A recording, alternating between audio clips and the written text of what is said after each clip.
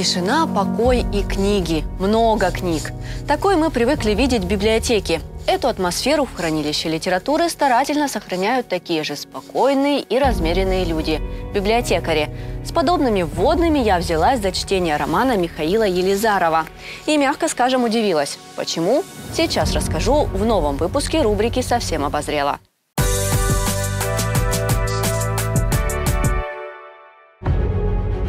Михаил Елизаров – современный российский писатель, автор песен.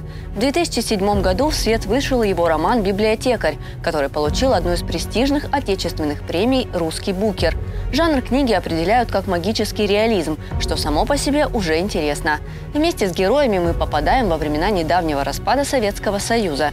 Действие строится вокруг библиотек, но не в привычном нам понимании – Оказывается, что скучные романы неизвестного писателя Громова обладают магическими свойствами. Будут в читателях чувство радости, наделяют физической силой, помогают поверить в себя.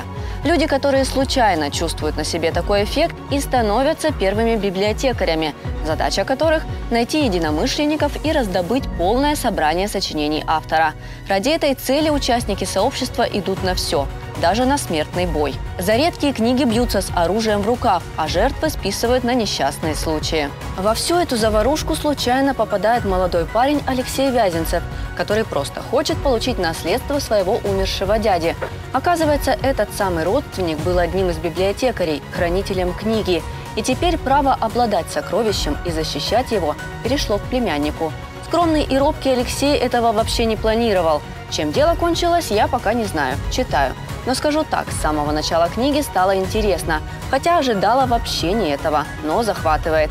Неудивительно, что роман получил премию и много положительных отзывов. А еще по мотивам истории снимают сериал. Пока заявлено 8 эпизодов, и рейтинг зрительских ожиданий достаточно велик. А если хочется узнать, как на самом деле работают представители этой профессии, приходите сюда на Чечерина 85 в субботу вечером. В свой профессиональный праздник библиотекари устроят Библия ночь. Будет страшно интересно. Начало в 17.00.